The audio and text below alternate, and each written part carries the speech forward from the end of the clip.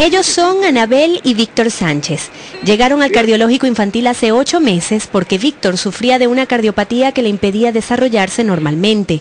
Su mamá nos contó cómo era su vida en aquel entonces. Yo me hallaba destruida, porque viendo que mi hijo se estaba muriendo y se me salía de las manos. Y gracias, bueno, pude lograr ahora y ahora me siento bien, porque mi hijo es un niño ya sano. Tras una cirugía totalmente gratuita, Víctor dijo que quiere ser cuando sea grande. ¿Tú quieres ser doctor y periodista? ¿Doctor para qué? Para cuidar a los niños. ¿Y periodista para qué? Para ver la foto. Esta familia se reunió con el presidente Chávez durante un recorrido que hizo por las instalaciones del cardiológico infantil.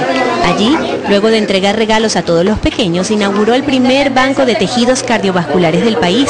Esto permitirá que los pacientes reciban válvulas, pericardios y otros segmentos que podrían salvarles la vida. Al conversar con la directiva del hospital, el presidente anunció la creación de una campaña nacional de concientización para la donación de órganos. Llamó a los venezolanos a dar vida después de la muerte. Cada uno de nosotros muere y se lleva a la tumba muchos órganos eh, que funcionan perfectamente y que pudieran, gracias al adelanto tecnológico, científico. Claro, hay algunas posiciones conservadoras, yo pienso que retrógradas, pero que se trata, bueno, de posiciones ante la vida.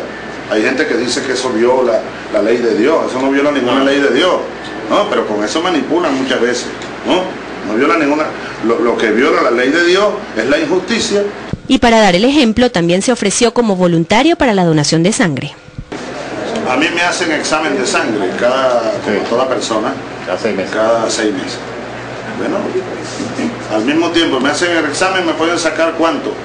¿Cuánto puede donar uno? 300 a 500 mililitros, dependiendo del peso. Pero Quiero que ustedes, ustedes planifiquen lo siguiente.